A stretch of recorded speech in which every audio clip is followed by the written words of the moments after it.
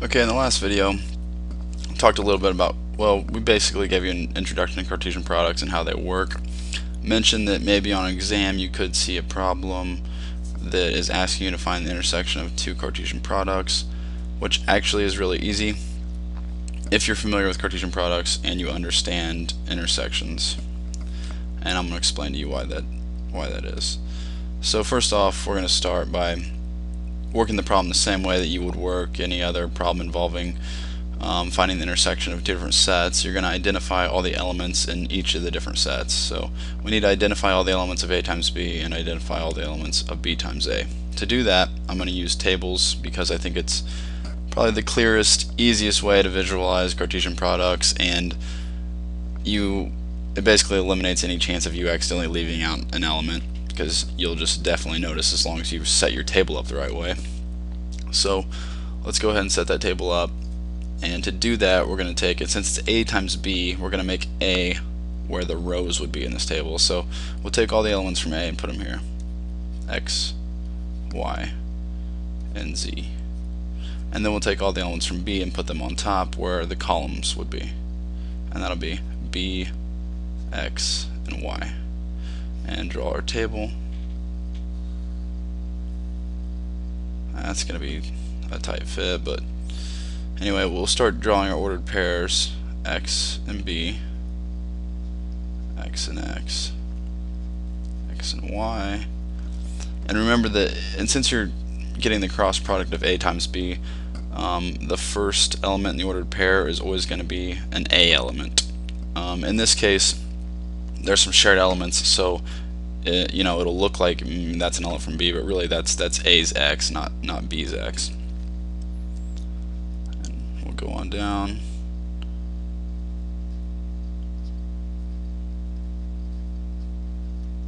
Go ahead and finish out our table. Oops, that's supposed to be an x. Okay, now that's all, that's the Cartesian product of A times B. Now we'll go over here and we'll, we'll go ahead and create a table for B times A. And let's put all our elements from B on the left side here. B, X, and Y. And then all our elements from A will go on top, X, Y, and Z. And then we'll create our ordered pairs bx, by, bz,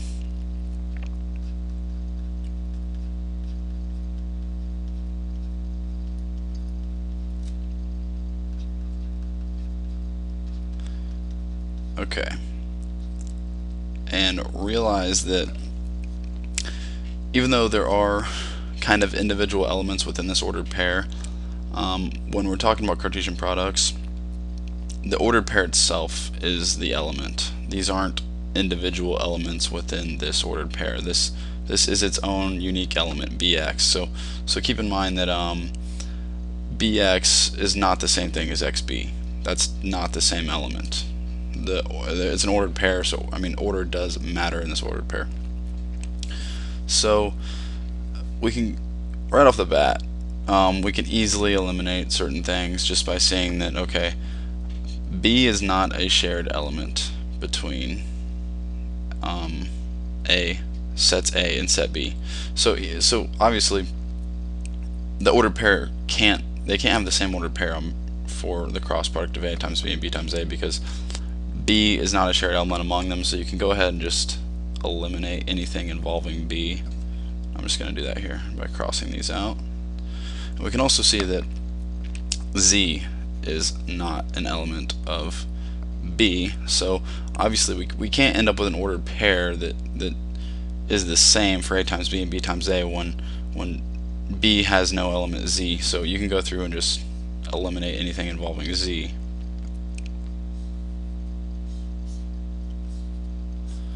And so that leaves you with only four elements, which are all shared elements. You can see obviously XX and YY are, are the most obvious, but you have xy and yx, but you're also going to have that here too because they're shared elements. So,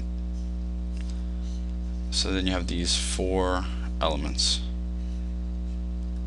And then your solution here is going to be